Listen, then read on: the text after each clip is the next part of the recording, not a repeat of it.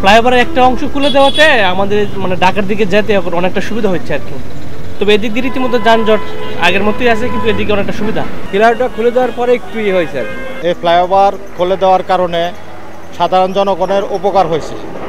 অল্প সময়ে তারা স্টেশন রোড থেকে উত্তরায় অল্প সময়ে চলে যেতে পারতেছে।